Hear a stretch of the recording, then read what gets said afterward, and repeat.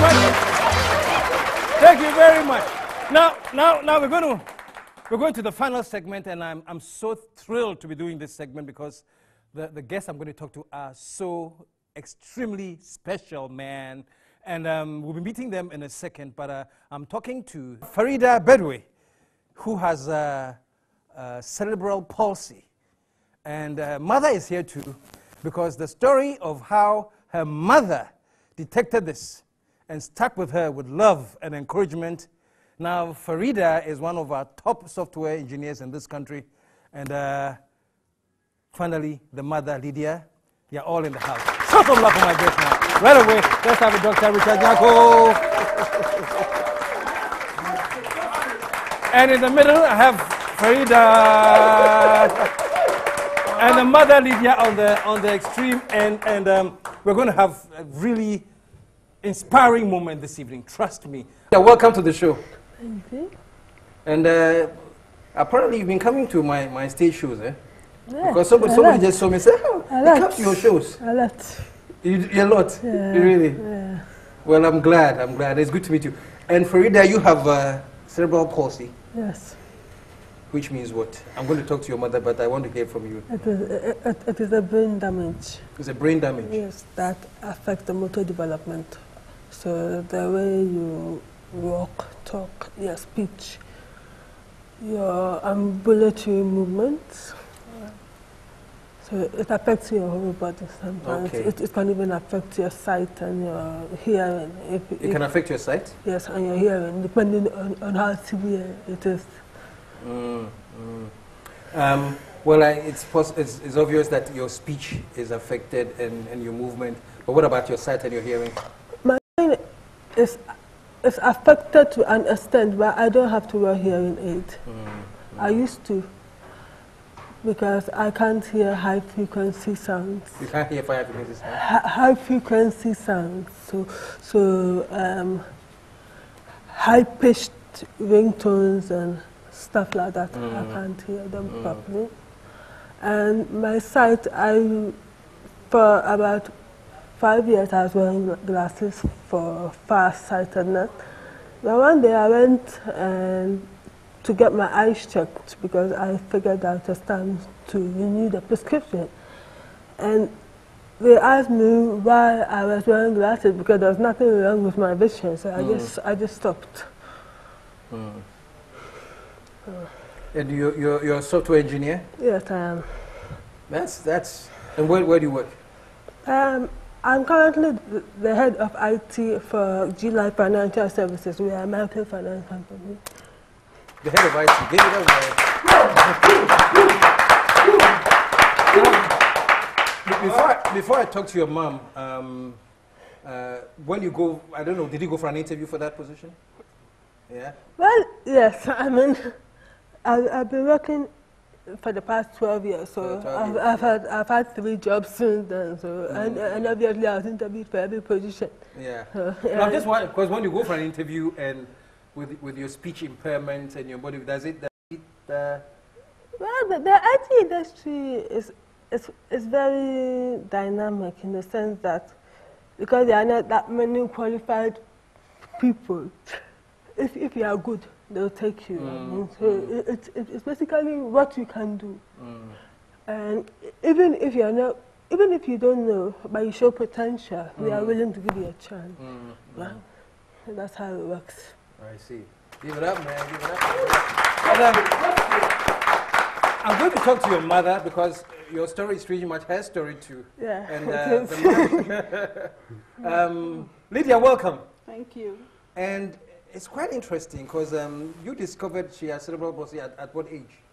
Well, the thing is, I knew something would go wrong because um, my blood is O negative and my husband's is A positive. Hmm. What does it mean for us lay people? Um, you know, the negative and the positive, when they cross, it causes uh, blood uh, uh, Disorders? disorders. Yeah. Hmm. So after the first child, I read a lot about it, Mm. and uh, I knew it was going to happen. But unfortunately, she had this uh, uh, blocked intestine when she was born. And although she was operated and put in the incubator, I kept on telling the doctors, I kept on watching. I mean, I wasn't close to her enough because I was standing outside the glass and watching her. But I kept on asking them whether her color was changing. And then uh, I think around the eighth day, it was uh, it, it had changed. But then uh, after the operation, I was told we have to wait for 10 days to know whether it's been successful because air bubbles will pass through the intestine. Then they will know whether what they did had succeeded. So it was one of those things where she stayed in there for six weeks. She didn't come out for that long. So when they decided to do the phototherapy, they didn't do the uh, give the blood. My blood is rare; it's a universal thing, and you have to go around looking for people who, hmm. who are on that, and they couldn't find the list. So when they finally found it, it was a bit late to hmm. give her the transfusion. So they did phototherapy, and well, she came out, and they thought everything was okay. But I knew there was something wrong. Hmm. And everybody kept on asking, Am I a doctor? Am I a doctor? And I said, Well, I know. What convinced you that, wa- that there was something Oh, wrong? I knew. I knew when she was born there was something wrong too because she was there, very beautiful, lying there, not doing anything, not even crying for food. Hmm. So when my pediatrician came to see me, I had her in a private office. So I said, Look, there's something wrong with this child. And he said, Oh, maybe the stomach has something. So he will let them wash the stomach. So the Saturday they washed the stomach. And Saturday evening, I still felt it hasn't worked. So I told the doctor in charge there to, to let me go home. So Sunday morning at 10 a.m., we left that hospital, but I didn't go home. I went straight from that hospital to the university hospital. And uh, Sunday, I went to look for the pediatrician. He was in church. He came and he took her and um went to the lab or x-ray or whatever. So I sat outside waiting, and he told me it's one or two things, but he hopes it's not what he's thinking. So when he took her in and mm. brought her out, and he said, Well, we have to operate immediately, or else she won't live. But there was a doctor who had come from Canada, a pediatric surgeon, who was very good. So he left her with me. I was sitting on a pavement there in the hospital, and he went looking for the doctor. The doctor had also gone to church. So he went and got him out of church, and he said, right, he will do it. So there were like the, my pediatrician, my gynecologist, and a physician, and the pediatric surgeon, and they took her in. And after six hours, he came out. The doctor, the pediatric surgeon, didn't know me anyway, so he came and said, Who is the mother? And I said, Me. And he said, Well, they've done everything man can do, and the rest we have to pray to God. And then I said, Well, since when did you people start leaving things to God? And he asked me, Have I seen a ram or a, a goat slaughtered before? I said, Yes. And he said, That's a mature goat. But I should think of a baby with that small intestine which they had to cut and then join. That is what they did. So we have to wait for 10 days to know whether the operation has been successful, first and foremost. So that's how the journey started. Hmm, hmm. So, um, I, I, I gather you, you schooled her in the house? Oh yeah, I had to, because uh, I mean, situation being what it is, and uh, she not walking, and before she got to that stage, she had a speech impairment, and I had to do 10 months of speech therapy every day, taking her to the hospital to do it, and she started talking, and then of course she couldn't write. She couldn't move her hands because it affected her motor development. So the only way I could get her to do anything was to teach her how to type. Hmm. Yeah. At what age? This was three. Three Age years? Three, yeah. You Because you had, to type at three years old? I had to start early. We started, uh, I ordered, those days there were all these, not computer things, but uh, real visual things. So I ordered uh, a nursery course for 12 months. And every month there was something to do, and we did that. And after that, there was learning to read. That's age four. So I put her through that too, and with, within three months, she was able to read. Mm. So we have to take a commercial break here, but only right there, it's getting so interesting and intense. But we'll be right back after this commercial break. Stick.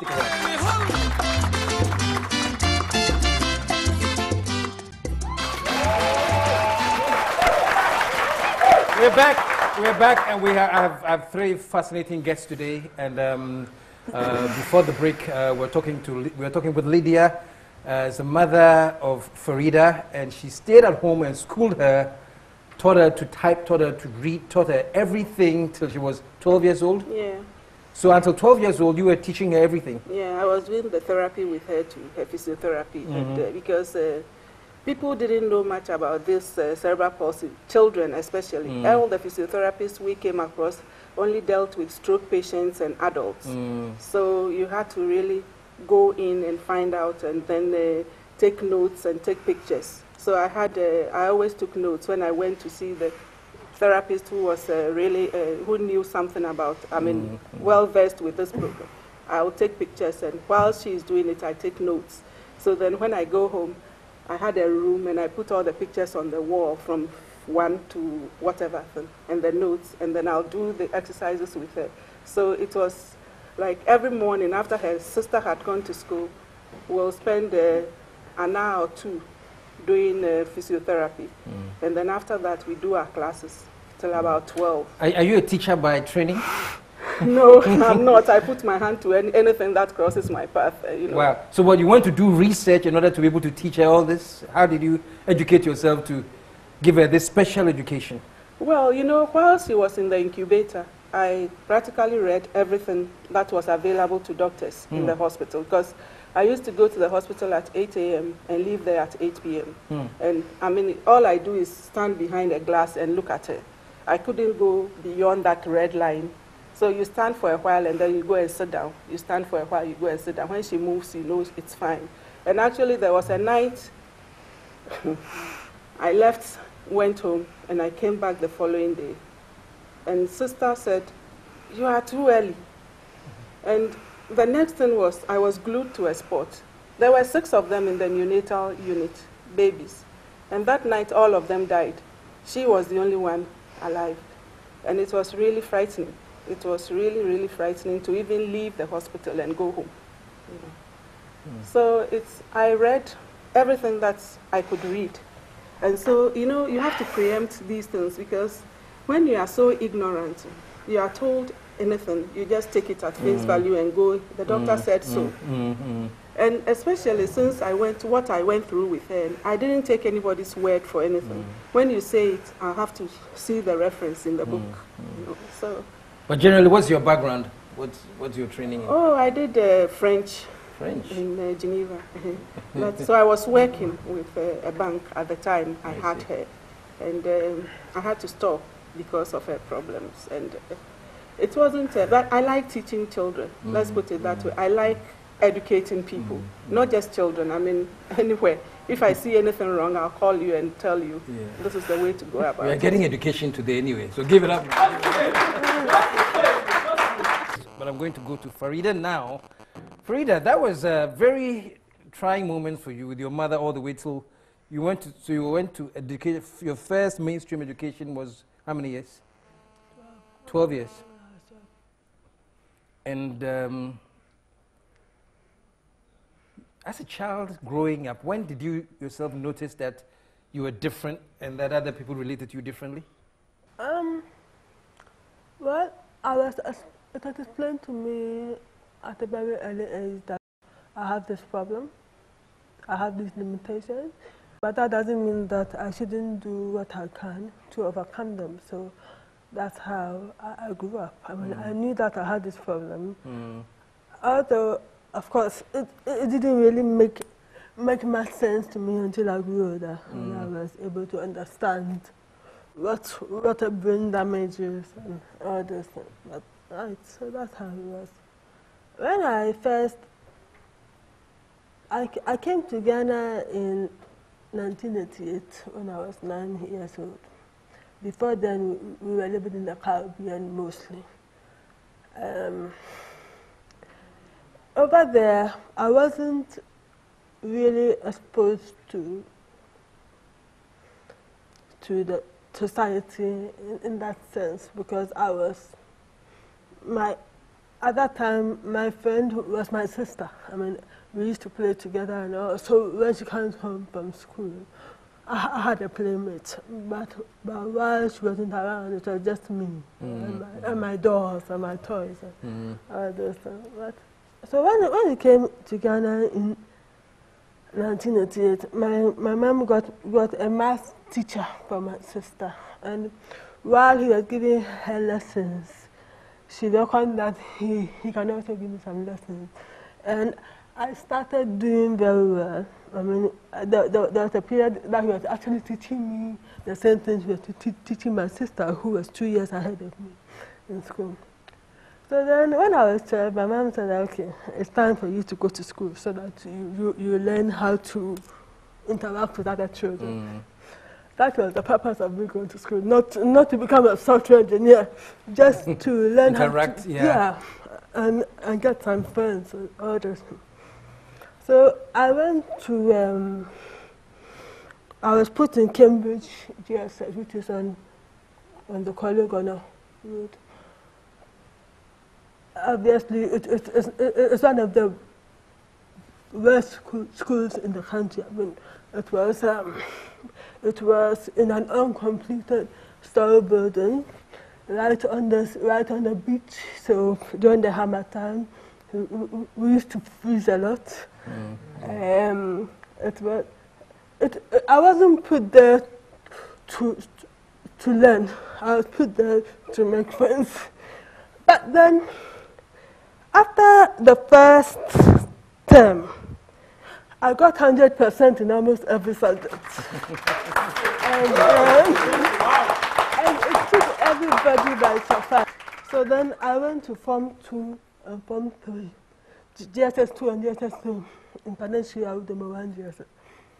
Um, I wrote the BC. I got I got nine ones out of 11 subjects. Got um, I got five five in Ga, which which is understandable because, because even even Ga students, even the, the locals didn't do that well in the subject. right, um, but but the, but the funny thing is, I got one in technical drawing, which which which everybody thought because of my hand uh, and how my hand shook and all that, I wasn't I wouldn't be able to do it. But the thing is, prior to, to me writing my BC, my mom went to social welfare and told them that I have this problem. So they, so they came to the school and they agreed to put a note on my papers so that the examiner who is marking it will take extra mm. time to read my handwriting. Mm, mm, so that, that is how I was able to do that well. I chose Achimota School for my SSSC. But um, because of the terrain, I, could, I couldn't go to secondary school. I mean, how was I going to move around from classroom A to classroom B? In JSS, it, it is simple. You are, you you are just put in one classroom and that is where you are until it's time to leave the school. But in, you know, you have different subjects in secondary school. You have to move from, from yeah. chemistry department to biology department and all those things. So then my mom decided that oh, I will, um, she will put, I should go and do a computer course.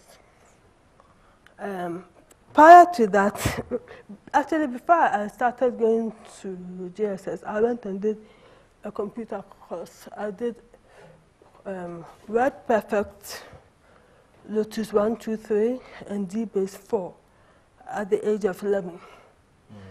And I did very well, to the, to the, to the surprise of everybody there. Um, so since I had a knack for computing, Computers, yeah. so I went and I did this computer course at the IMIS diploma.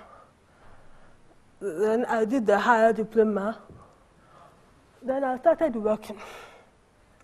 I worked at Umari Computers for one year, doing administrative work. Then I decided that I wanted to be a software engineer because that is where my interest lied. So I went to see, at that time, soft company Limited was the number one software company mm -hmm. in the country. So I walked into the office one day and I said, I, I went to see the, the managing director. The secretary told me that he wasn't, he wasn't around, so I should come back later. So I left and I came back. I didn't tell anybody in my house that I had, I had gone looking for another job or anything. So when I got back there, I was introduced to Herman Chinery who was the mm. managing director, mm. who was one of the managing directors of Soft at the time. And um, he was like, oh, okay. I, I, I, I told him that, look, I, I've just done basic programming, but I'm willing to learn if you take me on. And I said, okay, fine. I'll take, I'll take you on. That is all I needed. I needed a chance. And yeah, he yeah, gave me yeah. that chance. Yeah. So I worked there for three years. Um, during, during that period, I developed the payroll application, which was used by most of the, of the companies. You developed it? Yeah, I developed the payroll application, which was used by most of the companies in Ghana at the time.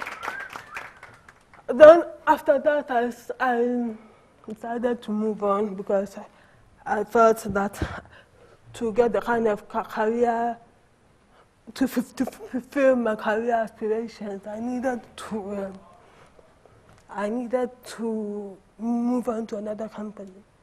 So I went to Rancard Solutions. And while I was at Rancard Solutions, I started doing a course in e-technology at NIT. So I was working full-time while going to school part-time. Then after I finished the course, I said, oh, it's time for me to get a degree. Because all these diplomas and things, at the end of the day, it is. Mm. So where did you get your degree at? So I, I applied to, to, to uh, the University of Hertfordshire in the UK. And um, they said based on my qualifications and my work experience, they are accepting me for the first two years. So I should just come there for one year and get my degree. So that's what I did. Yeah. Fantastic. We are, we, are, we are running out of time, and I'll ask you to. Um, when you speak, um, do you get tired? I don't. You don't? Okay. I don't. because I thought you get out of it, but, you, but it's normal. Mm. I see, mm. I see. Um, before I go to your mom and then mm. come and finish with Dr. Um, Freda, you're very pretty, you're very, very attractive. I'm sure you know.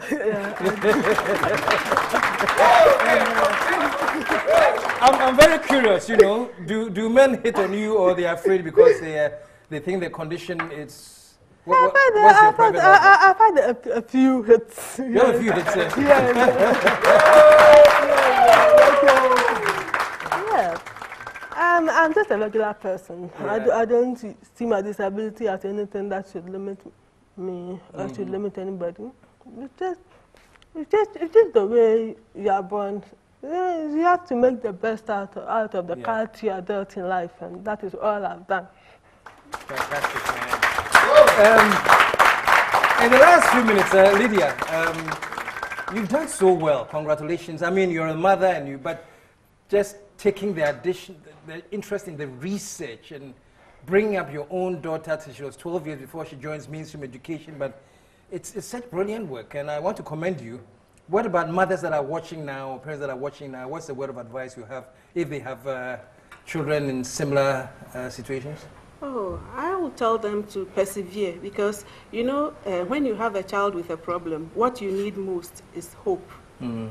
which you don't get. I mean, if somebody can give you that hope, mm. you can just, because the moment I got this is what the problem is. I put my hands to it, and I, you have to do. I talked to them in Korle Bu once, and I told them, look, you may be doing the exercises and you don't see any progress, but persevere.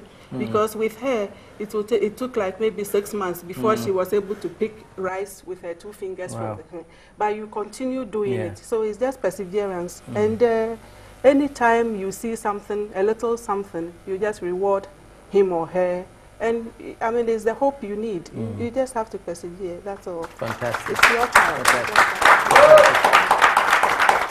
Freda, your final words in a minute. I would like to encourage um, parents of children with disabilities not to um, hide them in rooms and um, take.